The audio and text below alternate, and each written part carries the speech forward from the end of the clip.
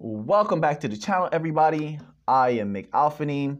Please subscribe to the channel and help us get to 500 subscribers. I would appreciate that. And please turn that like button into a rocket man and send it into the stratosphere.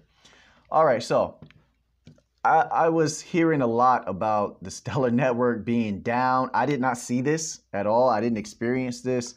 Um, and people were very doom and gloom about Stellar. Oh, Stellar's over. Oh, Stellar's having problems. And I'm thinking to myself in my logical brain, this is a decentralized network with nodes all over the place. How could a decentralized network go down?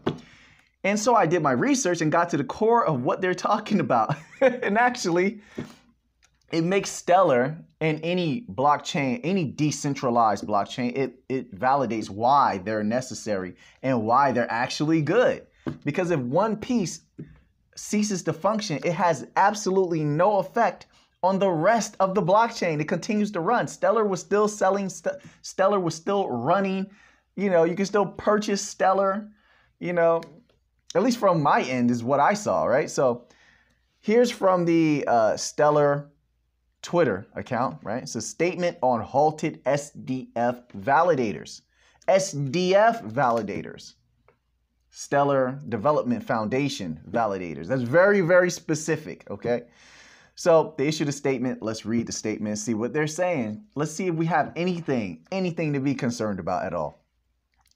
So it says, and this is from stellar.org, it says Stellar Network remained online and processing transactions throughout halt.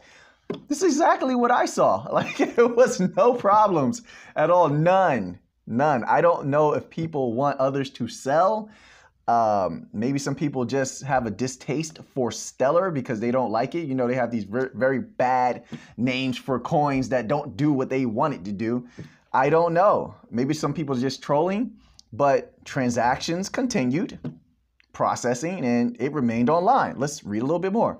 Around 1 a.m. PDT, the Stellar Development Foundation's validator nodes temporarily stopped validating transactions on the Stellar network. This is the Development Foundation's nodes. Key, key, that's key, okay?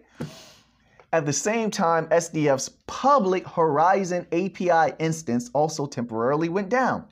At 11:28 a.m. PDT, the SDF nodes and public access Horizon were back online. That quick, just like that.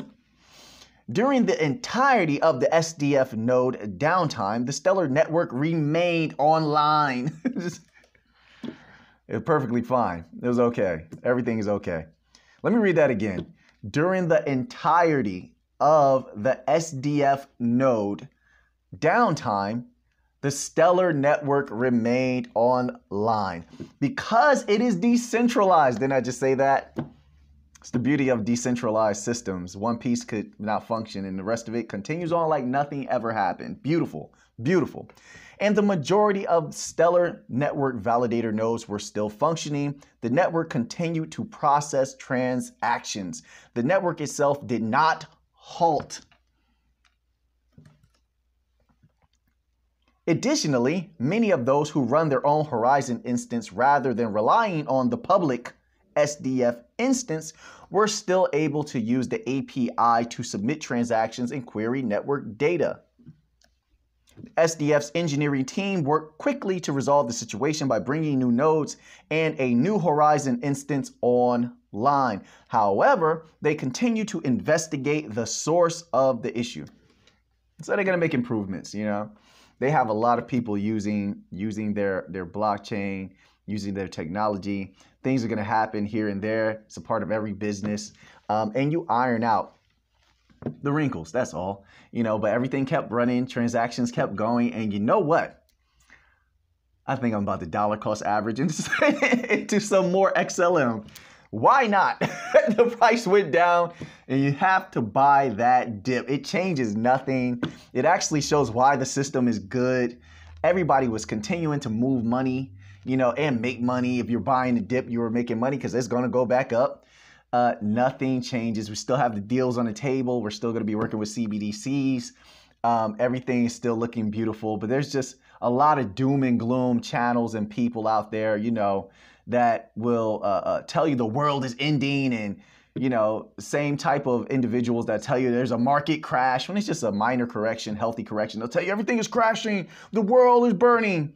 You know, what can you do? Through it all, buy the dip. I buy the dip.